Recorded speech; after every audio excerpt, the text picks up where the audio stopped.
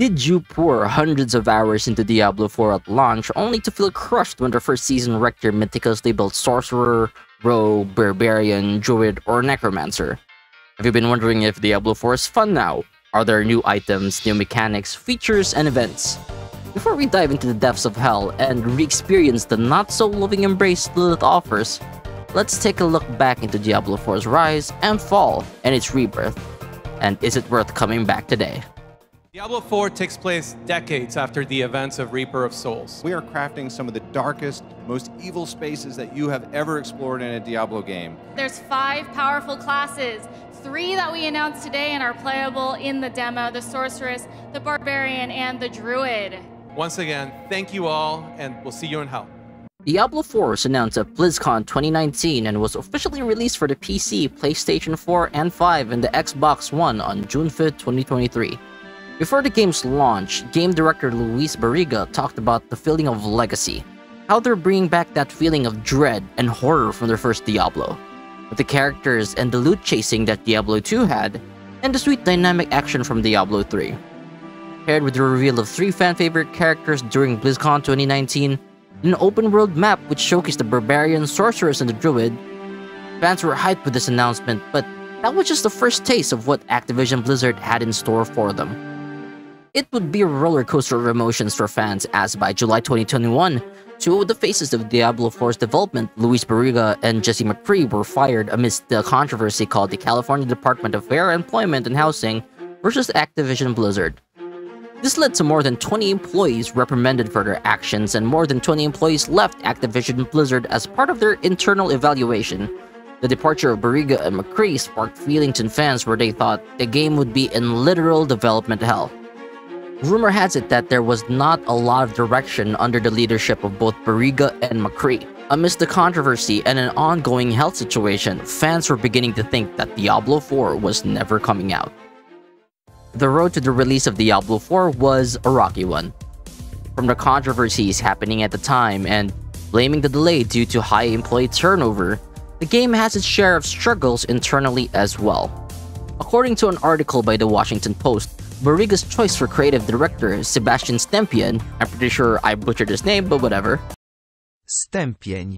who previously worked as the creative director for The Witcher 3 and head writer for Cyberpunk 2077, was brought in to help revise the game's story. Stempien's decisions brought a sense of unease, According to employees, there have been multiple versions of the script, including a version where a female character is forcibly interacted with brutally, and eventually scrapped altogether with a female character, as the employees say this does not belong in any Blizzard game. I can't say the exact word on YouTube as the algorithm does not take kind to it, however, you get the gist. The game having to undergo so many revisions to character backgrounds and not a lot of progress to game content was a problem for the studio.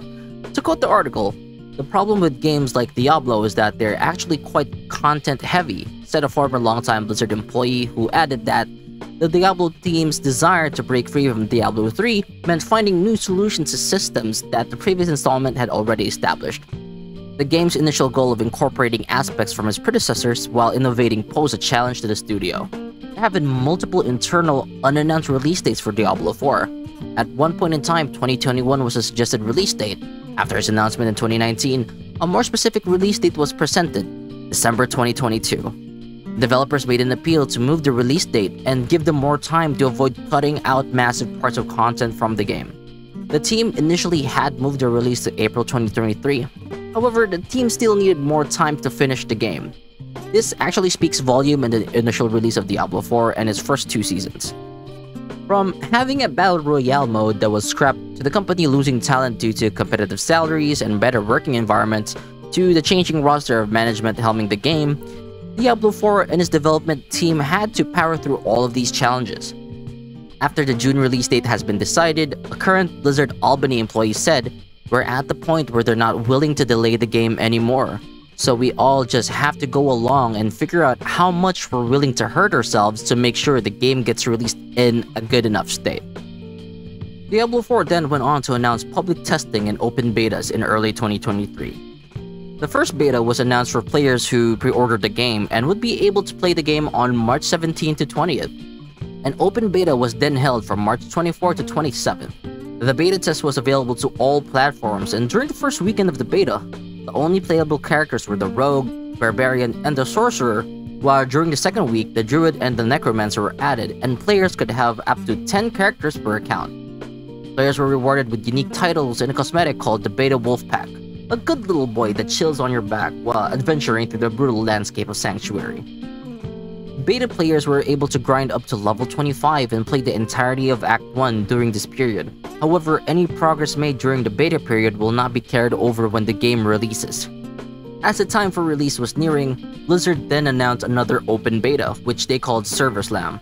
This beta built up more hype, especially with the added feature of being able to fight the world boss Ashava at level 20, and players would be rewarded with a special mount cosmetic, proving their mettle against Hell's gigantic artificial demon. Blizzard wasn't about to let the hype die out before the game's release as well. Their marketing efforts for Diablo 4 were nothing but spectacular. From cosplayers showing up as Lilith to multiple locations in Taiwan and Korea to a KFC collaboration, Halsey even collaborated with Suga from BTS to make a banger track, and you totally have to listen to it. Diablo 4 even immortalized the first 1,000 players who reached level 100 on Hardcore, and carved their names on the Lilith statue found in Blizzard campus.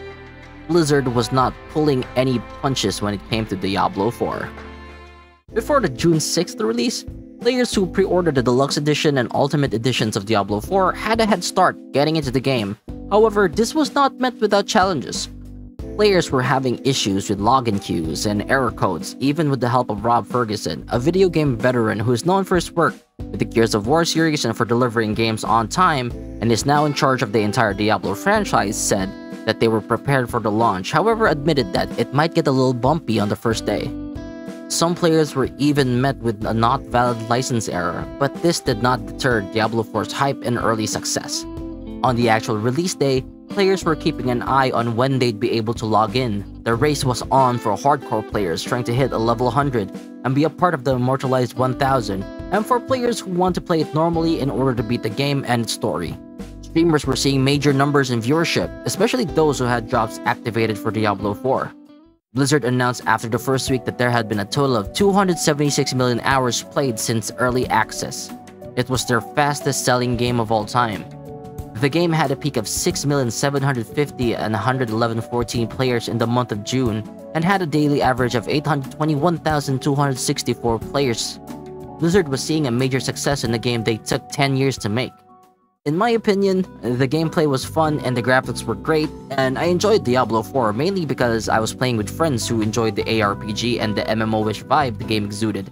However, it does feel like a bare-bones beta game was sold to the public as a full release for $70. After completing the story, it was an unending grind to hit the maximum level in a very repetitive game loop of dungeon raiding without the capability of target farming, or even additional content post the story aside from the Uber Lilith fight. The game had raving reviews from IGN, OpenCritic, and Metacritic, however, user reviews were tearing the game apart. Diablo 4 was enjoying a stellar month on release, however things changed when they announced the first season, the Season of the Malignant. The Malignant are relentless and without mercy. I need help.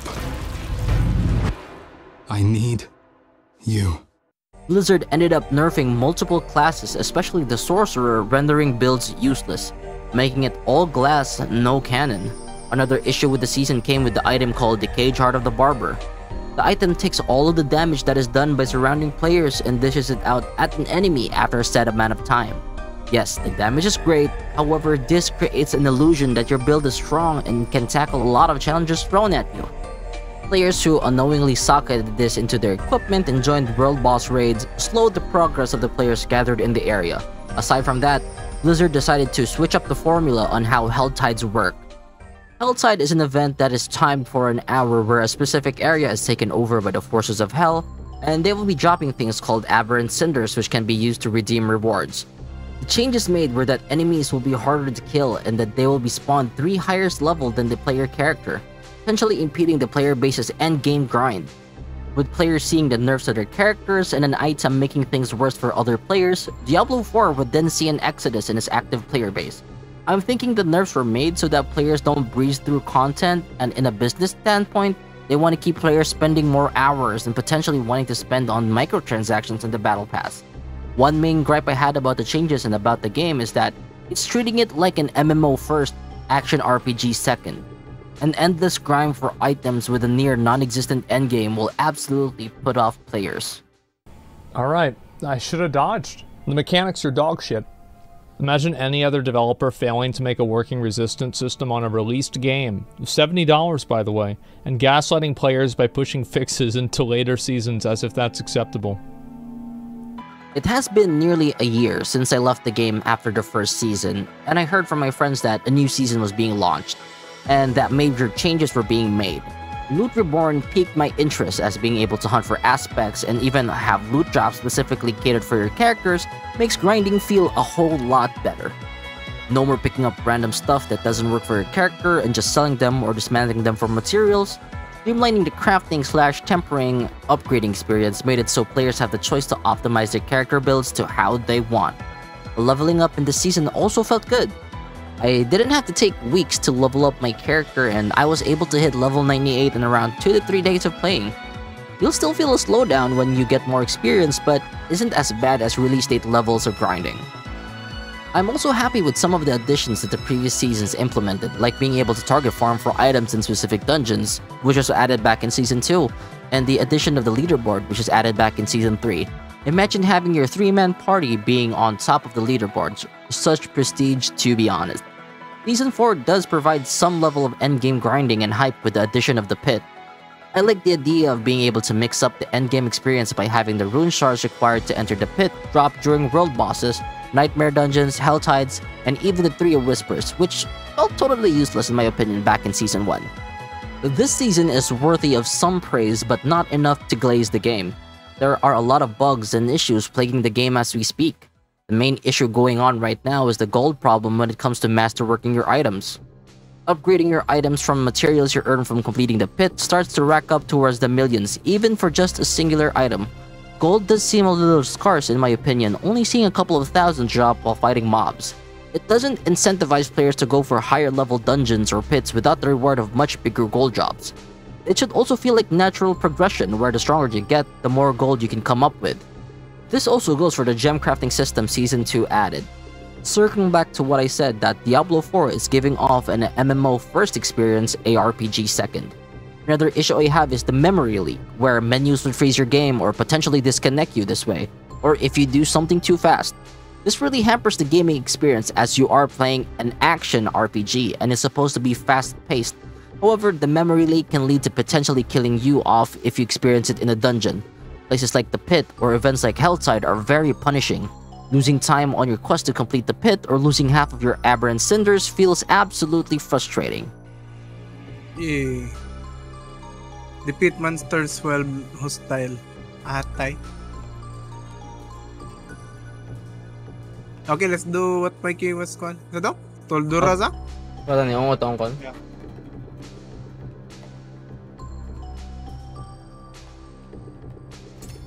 Speaking of bugs, I experienced that Smoldering Ashes did not automatically redeem itself. I'm glad that logging on and back on immediately fixed it. Another bug I totally did not enjoy happening was a bug during a fight with Torment Varshan, where one of my friends was being revived and the reviver died a second before fully reviving the other player. When I tried to go back and revive my friends, one of them got kicked out of the dungeon for some weird reason and we had to restart our fight with Tormented Varshan. Diablo 4 is in a state right now where they're trying their best to win back their player base, especially with the upcoming Vessel of Hatred DLC releasing late 2024. The DLC will be adding more content to the game and will feature Mephisto as potentially the big bad for the expansion. A new region has been revealed, and this could lead to more endgame content people have been waiting for. The question still stands, should you play Diablo 4 again and is the new season worth it? Short answer, yes. Long answer, yes, but if you're expecting a major innovation from the first season, well, you're gonna be a bit disappointed. Target farming should have been added since release, a more engaging endgame should have also been there for a game that's been under development for 10 years, and there are a lot of things I'd like to see in Diablo 4, such as loadouts for equipment or presets you keep so whenever you respec your skills in your Paragon board, you can easily just jump back and forth from what style or build you'd like to play. Nonetheless, the game is absolutely fun, especially if you have people to play and grind with. I can see myself coming back to Diablo 4 from time to time if they keep spicing up the game like the way they did in Loot Reborn. Thank you so much for watching. I hope you enjoyed this type of content, and I appreciate you coming over to the channel. If you can leave a like, comment, or maybe even subscribe to let me know you enjoyed these types of videos. This has been your boy AndroidPAW, and I'll see you in the next one. Peace out. When we, when the when the yeah. Di juga pwede mag-public speaker, Miggy. When the, and, and, and, What the fuck? What? Wow, kaya ha, uy. Ako, dami dito.